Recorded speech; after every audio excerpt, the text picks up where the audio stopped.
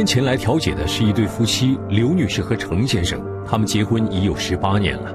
回首这十八年的婚姻生活，刘女士有种说不出来的苦楚。我觉得一个字累，日子过着过着我就感觉好累啊。刘女士说，她和丈夫程先生育有一儿一女，日子本应该越过越好的，但是让她失望的是，不管自己怎么努力，却始终离幸福很远。感觉很压抑，你知道吗？很很无力的，不知道怎么去改变。我不知道我要怎么做调整，我也不知道怎么去调整它。其实我看这个节目已经看了好几年了哈，就是我一直都有这个想法，我找不到方向了。万般无奈的刘女士只能找到金牌调解，希望调解团队的老师能够帮她找到一条出路。但这条路似乎并不好找，连我们调解团队的老师也很犯难。今天你们这场调解是让我挺纠结的一场。其实今天的调解，我倒觉得还是真正的挑战。刘女士和丈夫之间究竟出现了什么问题？重点是我们能够沟通，家是要有温度的。面对妻子的指责，程先生会是什么反应？在今天，我们的调解团队能否为他们找到情感的出口？刘女士会看到幸福的希望吗？调解即刻开始。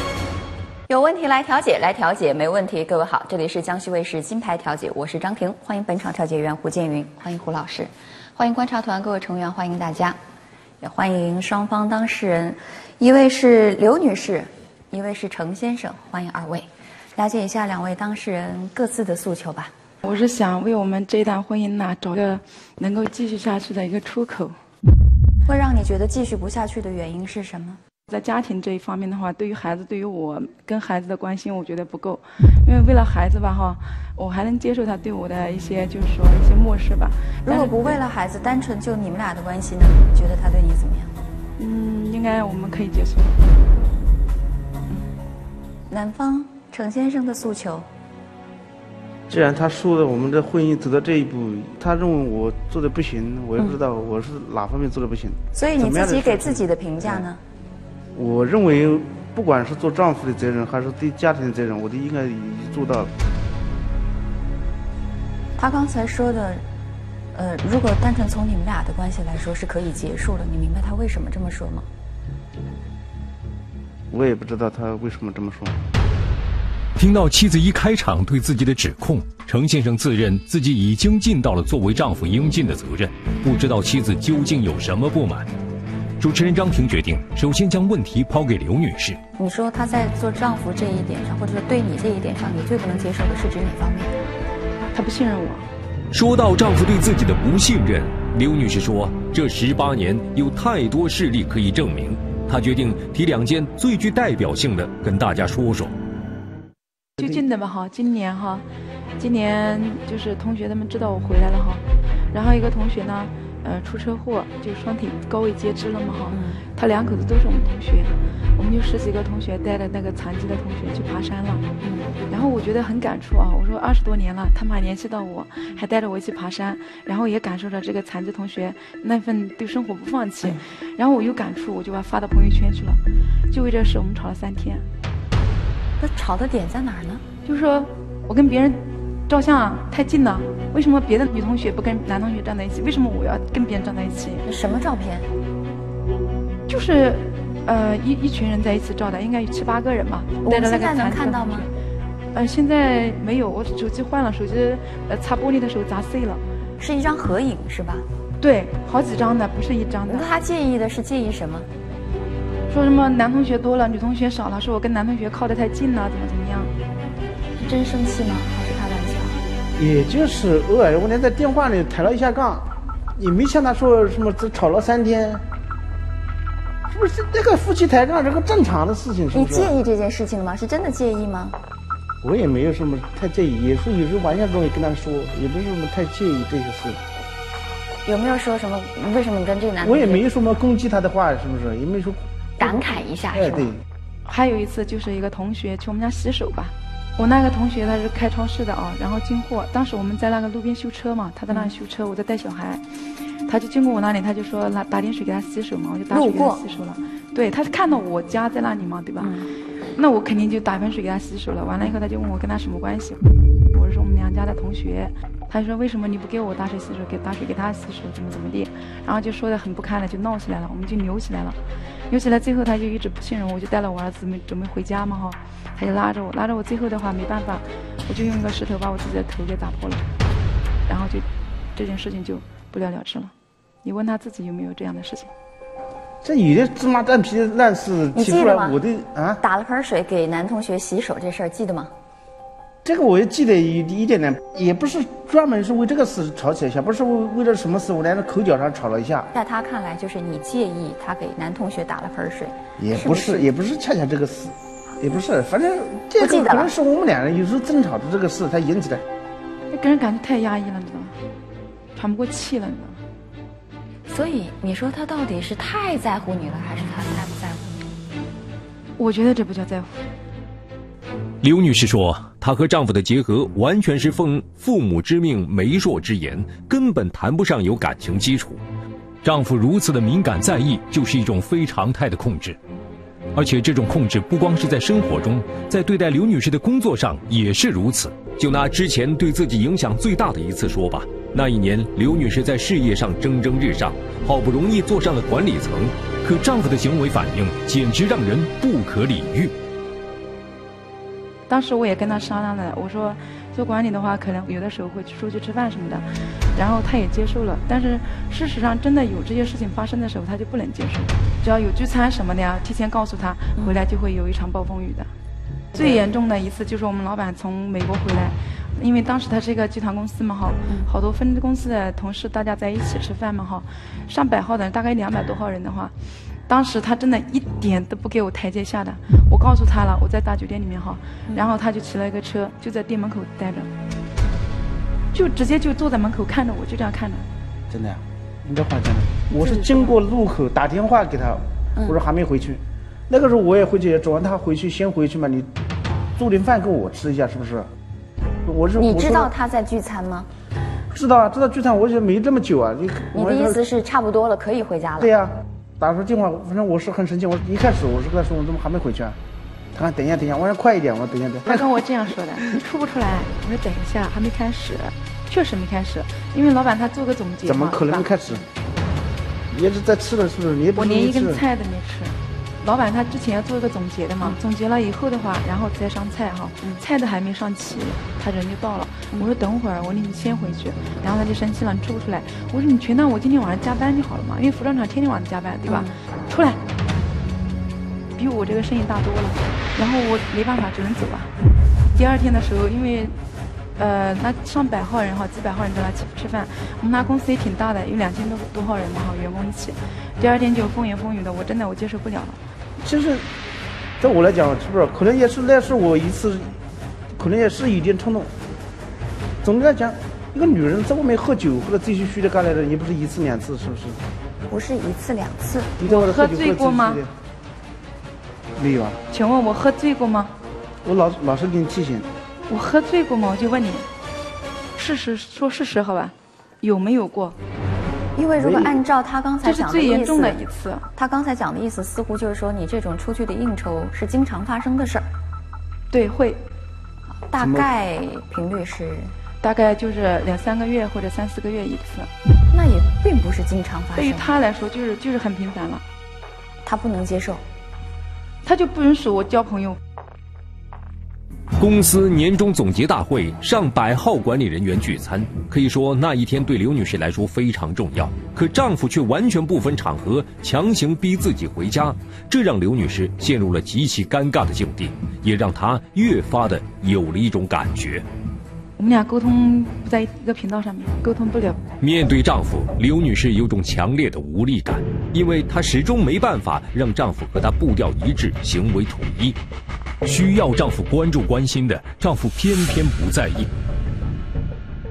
真让我绝望的就是去年我儿子查出来心脏病以后，去年医生就是检查结果就说，要么就是生气的，要么就是摔跤的。我说这两样我都占到了，所以怀他时候的问题，对生气，然后摔跤，两样我都都占到了。然后去年，嗯，不好意思啊，没事。快开学的时候，学校说不收留他。那时候我真的我都找不到方向了，你知道吧？如果说我儿子当时就休学的话，换一个学校，对他的心理会造成什么样的一个压力？好，什么样一个打击？只有我能体会到。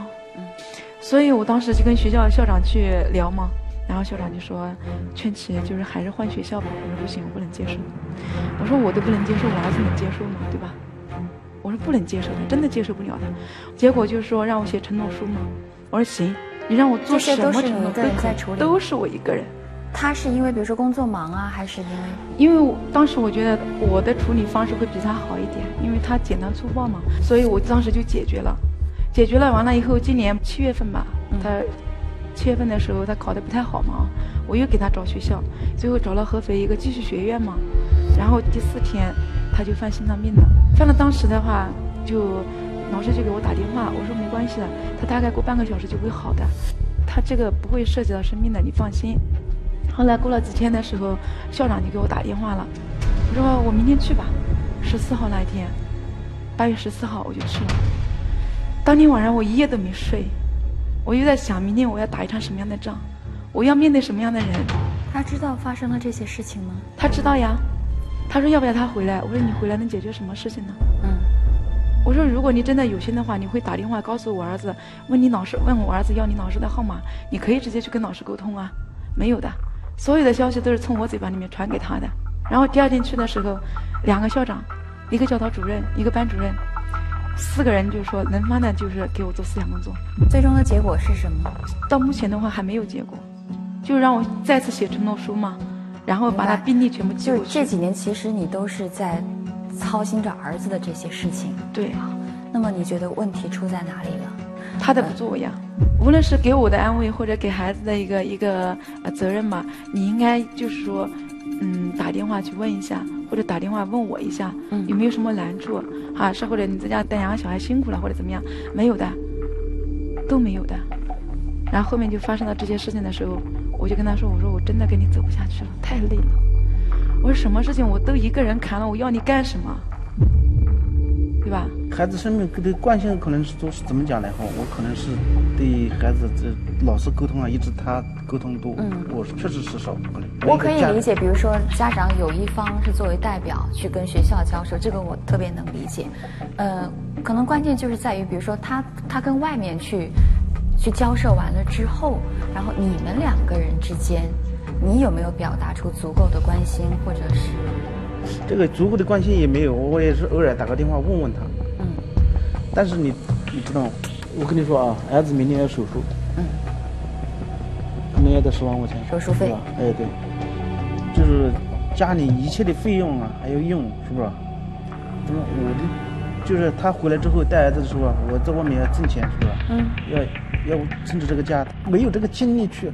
陈先生说：“我现在的主要的精力和目标是放在保证一家人的生活问题，还没有足够的精力或者这个情感需求去满足所谓的精神层面的这个要求。”对呀，程先生承认自己确实对孩子关心少了，但那是因为沉重的经济压力让他无暇顾及太多。对于这一点，刘女士表示不是不理解，但是在她看来，丈夫还是没有抓到重点。重点是我们能够沟通，能够融洽，要家要像一个家的样子，不能冷冰冰的，家是要有温度的，多把一点心思花在孩子身上。你并不是为了挣钱而挣钱，我我挣钱了，我什么都不管了。他跟孩子们的沟通是什么样的？没沟通，就我回家了还稍微多一点，我回家了还会打电话多一点嘛，就会我就会把把手机给小孩嘛，这样子的。我跟他在一起的时候，基本都是我打电话给小孩沟通。刘女士一再强调，精神沟通远比挣钱更重要，特别是在孩子的特殊时期，要让孩子感受到更多的家庭温暖。可丈夫偏偏在这点上不上心，这让刘女士觉得心力交瘁。那么，程先生在孩子眼里会是一个怎样的父亲呢？主持人张婷决定现场连线他们的儿子小程。也正是这通电话，让我们更加全面地认识了程先生，也更加客观地看到了夫妻俩之间的问题。小程你好，你好。呃，你知道爸爸妈妈来调解吧？我知道，我知道。你觉得他们有什么事儿应该要调解的？说什么事儿的话，其实也没什么大事，都是一些小事情。嗯，那他们之间需要调整的是什么呢？就是心态问题。谁的心态？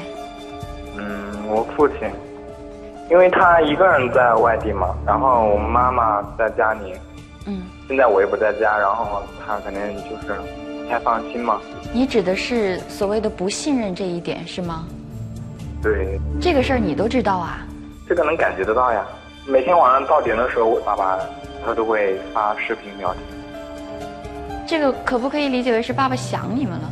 嗯，也也有一部分的。嗯，那你还会怎么去理解他呢？他们就是好多性格方面也不是很那个，因为我妈妈是种女强人嘛，然后我爸爸就是属于那种比较老实、就踏实的那种。嗯，那就是我妈妈如果要做什么事情的话，那我爸爸他就会有所阻拦。好多事情他们的看法、他们的价值观和人生观都不一样。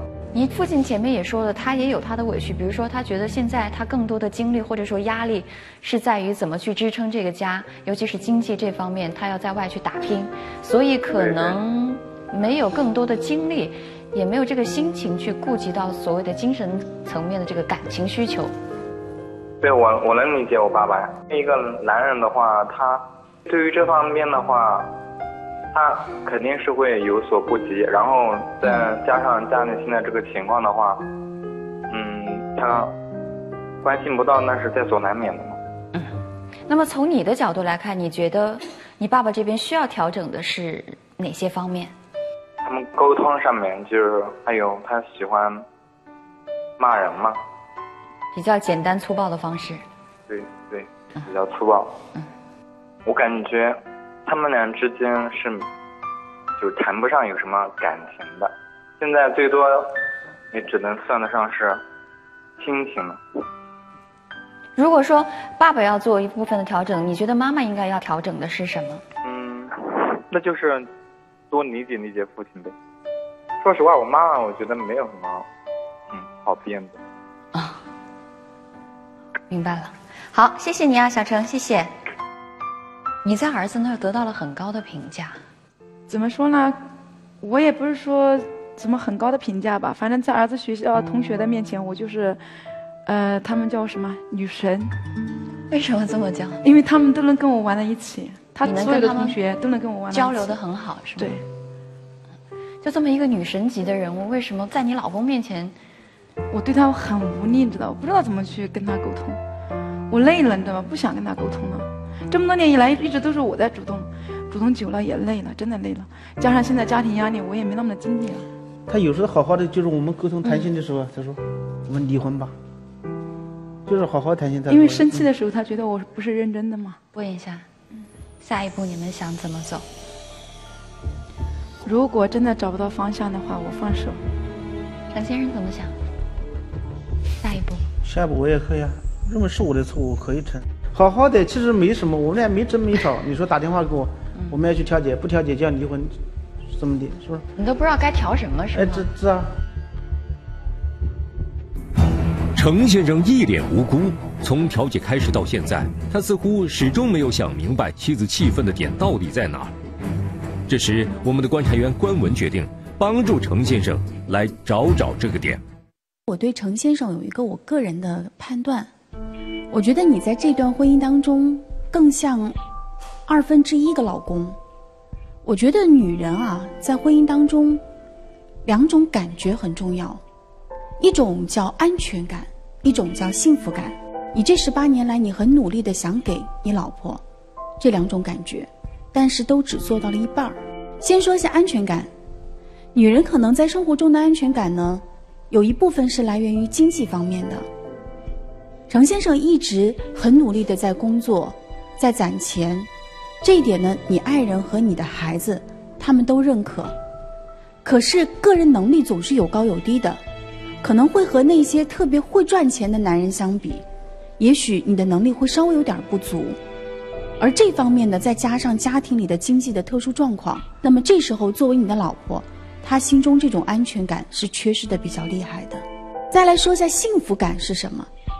女人的幸福感呢，在一段婚姻当中呢，首先和自己爱的男人情投意合，可是好像你老婆也没有在这十八年里有这种感觉。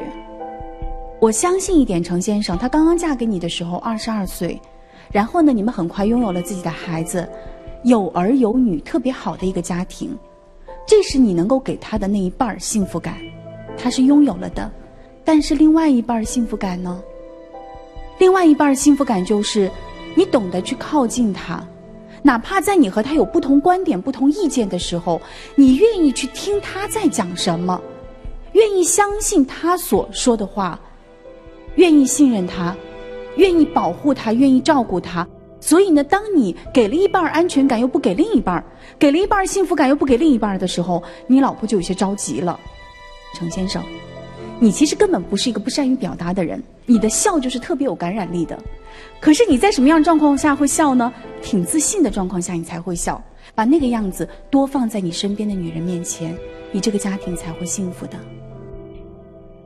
做了这么多场调解，今天你们这场调解是让我挺纠结的一场，因为就妻子来说，我感觉得出你是真心的，这段婚姻让你过得很不舒服。而你是真实的很想创造自己新的生活，这是没有什么错的。但是丈夫这一边，他又做错了什么呢？实话实说，他是有很多东西没有做到，但是他的那些没有做到，不是因为他不想做，而只是因为他做不到。你看，因为你的交际能力是很强的。因为这种个性，你待人接物、对外交流，很多时候都是由你出面。可以说，某种程度上，你起到了一个家里本应该是男人去做到的那个独当一面的那个位置。而也恰恰是因为这一系列的经历，让你视野也开阔了，你的精神也丰富了，你对人的情感也有了更多的辨识。可是，在你丈夫那个地方，他为什么会有这么多年严防死守呢？其实很简单，因为在他的世界里，他认为人的情感除了亲情、夫妻情，剩下的男女情那就叫私情，没有别的东西。他不知道，人世间还可以有一些其他的感受、其他的交流，人与人之间还应该存在一些更好、更高尚的行为。那怎么办？所以他选择的是第一，严防死守。第二，拼命干活。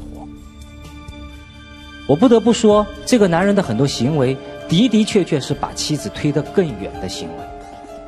但是我知道，是因为我的世界里有了那些丰富的东西，他没有而已。所以，现在如果我们仅仅只是谴责他的行为错了，没有意义。要怎么帮他改错才有意义？我们知道他那些东西，他那些错误的想法，是因为他的思想太简单。那我们为什么不可以帮助他把思想变得更丰富一点？当然，这有难度，这也不是你一个人能做到的。重点在于他，他要意识到自己哪里需要提升，你的帮助才有意义。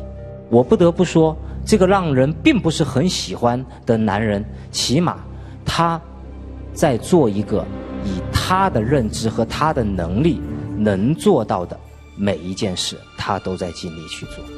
这一点，我觉得你应该看到。观察员们分别站在夫妻俩各自的角度指出了问题，并且提出了一定的建议。但调解员胡建云却认为，除了双方做出一些调整之外，还有一点非常重要，可以说，它才是奠定未来婚姻生活的基础。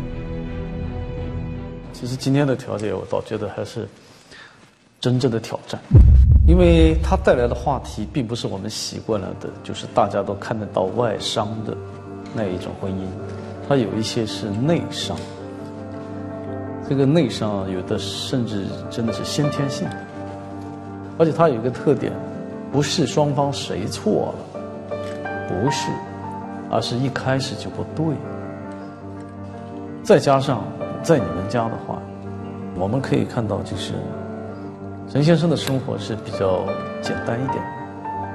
刘女士对生活的内容有更加丰富的体验。两个人如果差异挺大的话，就不一定适合在一起。但是，以我个人来看的话，其实重要的不是两个人的差异，而是两个人没有配合好。就是如果配合的比较好的话，即使有差异，它本身也是一道风景线。比如说刘女士，她在家里面说一个观点，讨论一个问题，好，万一陈先生这一下没有明白过来，那你就拿出一个真诚的态度。哦，你刚才讲的我还听不懂，不过我觉得你讲的应该是挺有道理的。那我想这可能就是一种配合，配合优先于差异。即使两个人都挺行的，但是如果没有配合的感觉的话，冲突会更大。我说这个东西呢，说这个观点是提醒刘女士也认真的思考，你身边这位男人。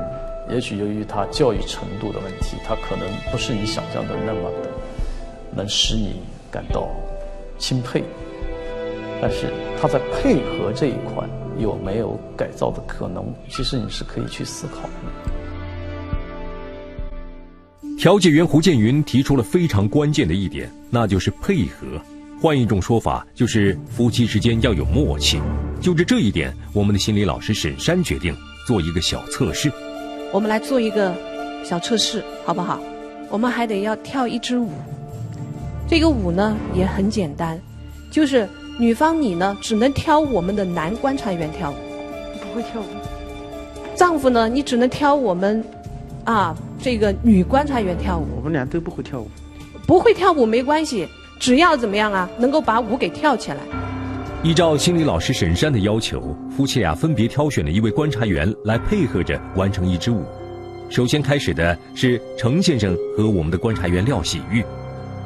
行，对，好，现在抱着廖阿姨开始起舞。你会跳什么？你会跳舞？跳舞教育舞吗？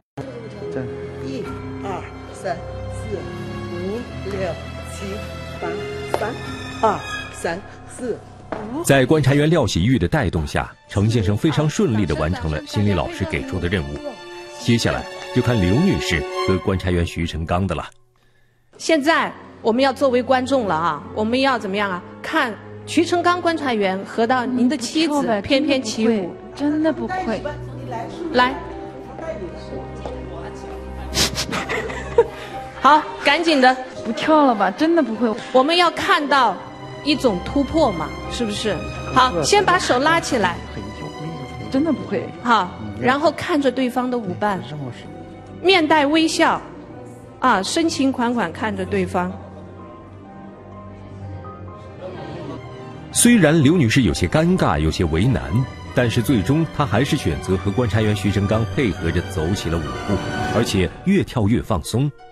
此时站在一旁的程先生会是什么想法呢？男方当事人看着徐成刚观察员这么帅的观察员，现在评点一下，他们跳的怎么样啊？跳的很好，比我跳的好多了。我看看他们跳舞跳的很，很很走路走路很默契啊，你看。啊，很默契。哎，对，配合的很好。下次我也去，既然去学嘛，配合他，也去跳啊。你来代替瞿成刚的位置，是不是？对。好，现在瞿成刚邀请怎么样啊？男方上场。相比之前一直表现的有些木讷的程先生，此刻变得主动了许多。那么，在他的积极主动下，夫妻俩能够配合默契，给大家完美的呈现一支舞吗？翩翩起舞，现在开始。跳。别看着对方，深情款款的看着对方，身体距离拉近，哎，不行不行，心理距离拉近。跳不跳？跳真的跳不了。没关系，继续。跳不了，真的跳不了，不跳了。没关系，继续。跳不下去，我真的跳不下去了。跳不倒。刘女士突然表现得很抗拒，哪怕心理老师沈山再三鼓励她，她也依旧不愿意和丈夫继续完成剩下的舞步。面对这样尴尬的局面，程先生选择再次主动地走向了妻子。好，哎呀，跳不了了。女方。为什么不把手伸给他呢？你内心最真实的想法和原因是什么？配合不了，是不想跳，还是不想继续婚姻？都不想继续了。你不是说找到一条通路是可以继续的吗？这两个实在太累了。从刘女士的肢体动作和眼神中，我们能够强烈的感觉到她对丈夫的排斥。这样的结果出乎了所有人的预料。难道刘女士真的要选择放弃这段婚姻了吗？当回到座位之后，她会向大家如何解释自己刚才的举动呢？通过上述的这个环节，女方，你想跟我说什么？觉得跟他真的还是沟通不了，不在一个频道上面，没有默契。平时他在家里是没有这样子的氛围，没有这样子的场合，也没有这样子的橄榄枝的。你过来了十八年，当他现在有这样子的勇气，有这样子的橄榄枝的时候，你反而退却了吗？有一个细节，你发现没有？你内心非常想拒绝，然后你跟徐成刚老师跳舞，你还是勉强跳了，因为知道礼貌，对吧？可是当他跟你跳的时候，你拒绝，你发现没有？其他人你都不好表达你最真实的想法的时候，在有一个人面前你是可以表达的。你看我们在外面工作干嘛干嘛，我们总是会说啊，呃，我们家里面的人啊这样不好沟通，那样不好沟通。可是只有在家里面，我们才是最任性的。所以我直接说的话，我就觉得，真的是没有比较就没有厌倦。也许你看到很多男生在你面前呈现出来的好的一面的时候。你更多的比较下来，是你熟悉的他的很放松的状态，那就是他的所谓的不光鲜的一面。但是也许在这个过程当中，你也忽略了他的笑容。这个男人，他虽然没有那么光鲜，但是有一点特别好，就他有什么，他没什么，他都拿出来，都在那里。所以我脑海里面有一个方案，就是。我觉得你们俩要同时尊重一个事实，面对一个事实，就是你们之间的距离感是很强烈的。我们不要去掩盖它，两个人都坦诚，包括陈先生都要很坦诚的面对他，这样方便大家走向配合这个方向。那么就可以去尝试，这个基础上互相支持，所以我们就利用一点点密室的时间。好不好？我们做个约定。调解到这儿，我们确实看到了夫妻之间存在着非常大的差异，但因为有差异，就一定要走离婚这一步吗？调解员胡建云提议调解进入密室环节，他委派了观察员廖喜玉和关文分别与夫妻俩进行密室详谈。我觉得一个男人赚钱养家，这个这个不错，但是你忽略了他的感受，是吧？他究竟需要什么？你不懂。现在你就是这样的：第一，多赚钱；第二呢，尊重他。有些东西不要去过于很刻意的去对他的一些言行啊、举止啊去过于那个。如果有什么，你现在就是慢慢变大，什么强大起来，心就放大、宽大，心胸宽大都是。嗯，尽量去包容他。我也希望他尽量某一方面能包容我一点，嗯，理解我一点。嗯，理解你什么呢？理解你的辛苦，哎，这不是辛苦是一方面，对他现在不够关心的方面，非表达出来，像我这个人不善的表达出来。你有要要调整自己。观察员廖喜玉提醒程先生，自我提升很重要，还有更重要的一点是要明白妻子真正需要的是什么。对此，程先生虚心接受。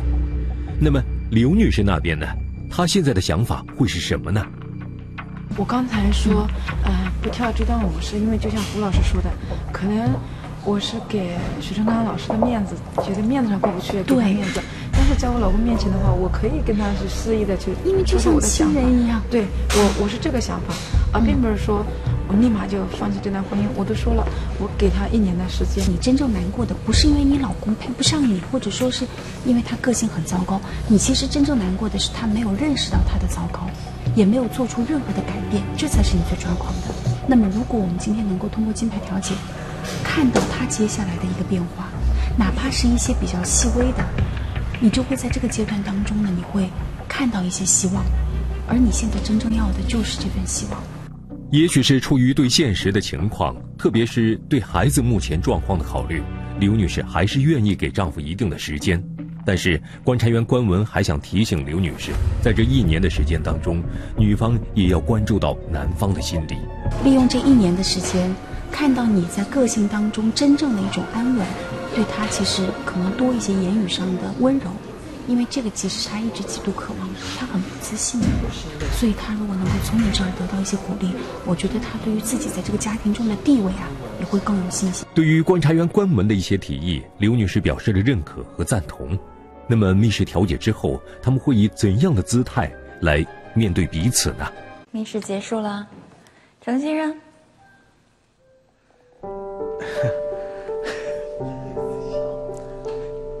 老婆，这么多年来，你我知道你跟着我是吃了不少苦。以前我对你关怀不到的地方，请你多多原谅。以后的日子我会改，因为我们的路还很长，我们的家庭很需要我们夫妻俩去共同去面对。我也做出一些调整吧。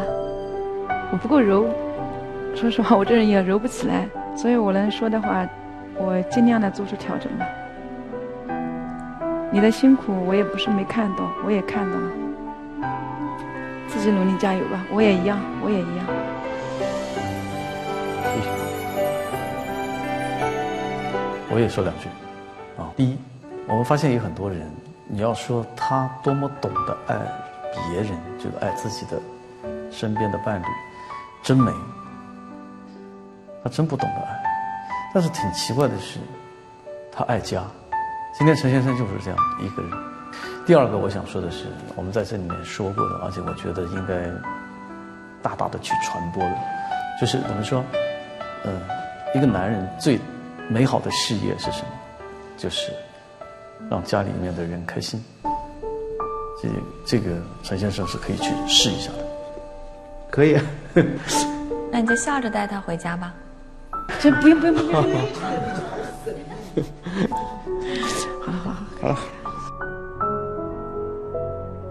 虽然夫妻俩心与心之间还有着一定的距离，但这一个拥抱至少是一个好的开始。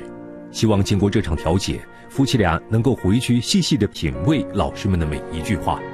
在一段婚姻当中，精神的差距确实是个致命伤，但是经过时间的打磨，后期的自我提升，夫妻双方的相互协助。总有一天能够找到那个平衡点，而那将是这段婚姻幸福的源泉。